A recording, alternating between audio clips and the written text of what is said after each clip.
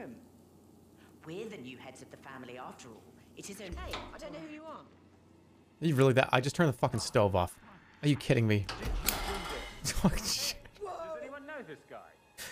I turned the stove off. I turned the stove off. I turned off the stove. Really? That's it. Enough is enough. Oh god damn it.